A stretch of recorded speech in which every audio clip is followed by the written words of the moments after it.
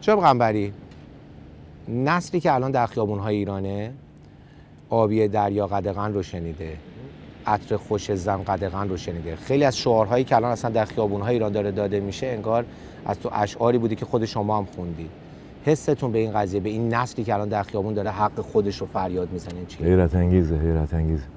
ببینید یک انرژی بزرگ به اندازه همه ایران آزاد شده.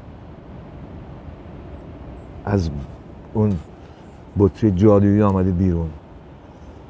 هیچ نیروی به باور من نخواهد توانست این انرژی رو برگردونه به داخل بطری.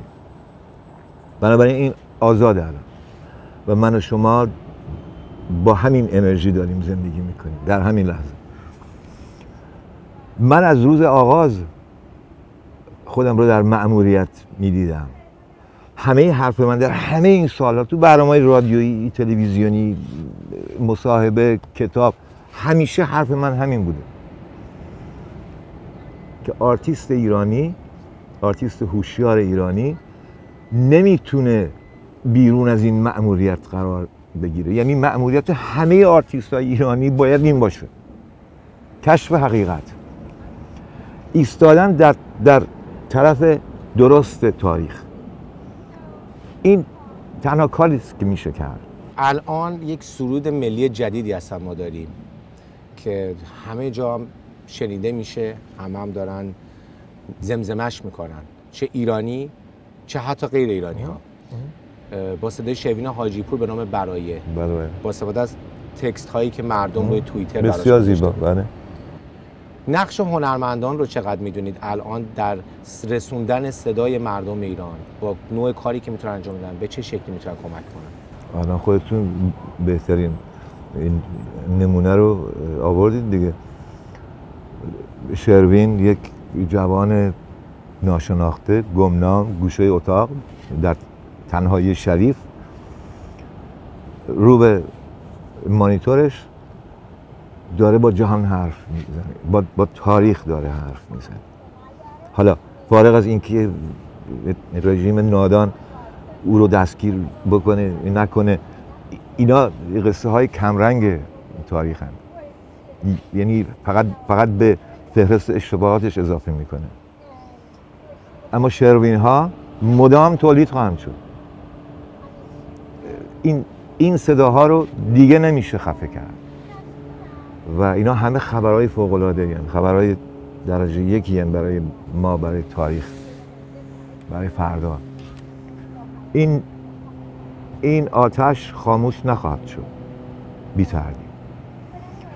بنابراین کار آرتیست ای- ای- ایرانی از همیشه دشوارتره. یعنی اون مسئولیت از همیشه سنگین تره اینه که من پیشنهاد می‌کنم به همه دوستانی که الان در صحنه یا نیستن او- اونایی که نیستن حتما بیان زیر نور حتما. برای اینکه فردای ایران امروز داره ساخته میشه. کاری نکنید که بعدا فقط در خلوتتون تبدیل بشید به یک تنهای پشیمان. کمک بکنید به این انرژی بزرگ. این تنها پیامی است که می‌تونم برای همکارانم بفرستم.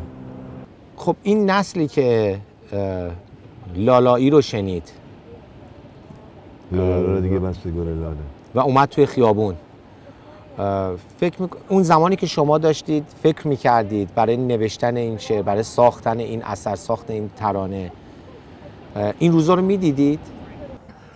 قصهشو براتون بگم. من از قربت آمریکا و انگلیس برگشتم به ایران پس از حادثه 17 شهریور یعنی من همه اون روزها رو در ایران زندگی کردم. وقتی که این خودسوزی ملی شکل گرفت من رفتم به شمال. برای اینکه تهران برام غیر قابل تحمل بود. شمالم که همیشه دوست داشتم و دارم و هفته یک بار حتما به سر می‌زدم. ولی این بار دیگه رفتم برای یک سفر طولانی تر خیلی از این- این ترانه ها در همون مدتی که من در دریا کنار بودم شکل گرفتن. لاقل از اونجا شروع شدن. قدغن لالا لالا دیگه بسته گل لاله. من لالا لالا دیگه بسته گل لاله رو برای کشتار کردستان نوشتم. اصلا از نخستین ترانه هایی است که پس از این, ما- این خودسوزی شک, شک گرفتن و منتشر شدن. اصلا همه همه چیز خوابیده بود. کسی ترانه تازه ضبط نمی‌کرد. وقتی که من در استودیوی پاپ که دیگه وجود نداره در تهران این ترانه رو ضبط می‌کردم. صدا بردار زندیات کلهور از من شگفت زده مدام این می‌پرسید می‌خوای بری بیرون؟ گفتم که حالا ضبط می‌کنیم ببینیم چه میشه. من به خاطر انتشار همون آلبوم که این ترانه بخشی از اون آلبوم بود آمدم بیرون.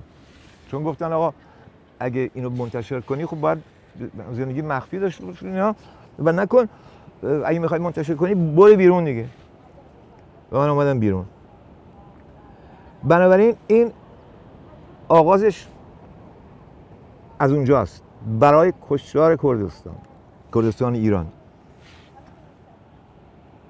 به همین خاطر من اشاراتی که توی توی اولین اجرای این ترانه دارم که اشاره است به کردها در اجرای دوم اونا رو برداشتم. برای اینکه فکر کردم که این ترانه که این قابلیت رو داره که که حرف همه باشه و محدود کردنش به یک بخش یا به یک داستان خطاست در رابطه با کار هنری.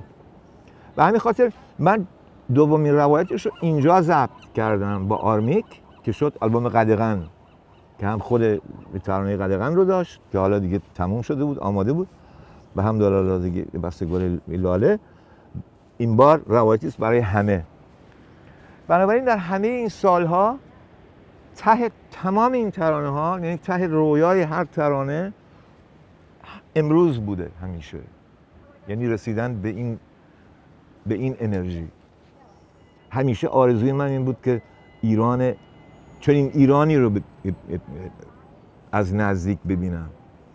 ایرانی که شعارش مرگ بر این اون نیست. شعارش زنده باد زندگیه. شعارش زن زندگی آزادیه. حتی برای یک درصد از کسانی که در سال 57 در صحنه بودند چنین شعاری وجود نداشت. از ذهن کسی نمیگذشت. برای اینکه همه چراغ خشن داس و چکش خونین سرخ بچه ها خوشرنگ خوشگل با شعار زنده باد زندگی آمدن به میدان. آمدن کاری بکنن که ما در همه این سالها از اوتش بر نیامدیم. فکر می‌کنید الان جوانهایی که توی خیابونهای ایران هستند چقدر اون خواسته هایی رو دارن دنبال می‌کنن که اون نسلی که در سال 57 تو خیابون بود؟ اصلا اونا رو دنبال نمی‌کنه. خوشبختانه. اصلا. به همین خاطر یعنی همه همه اندیشه این این جنبش اندیشه این حرکت خلاصه میشه در همین شعار زیبا که که زیباترین و مدرن ترین شعار همه سالها بوده. زن زن.